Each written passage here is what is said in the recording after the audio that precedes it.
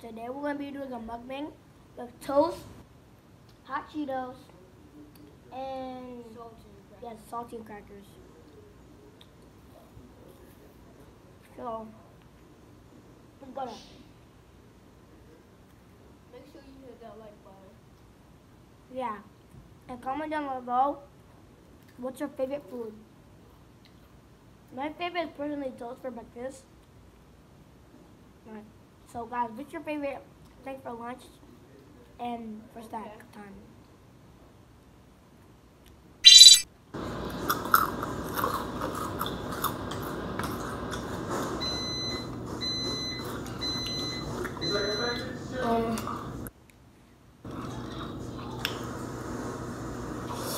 Um.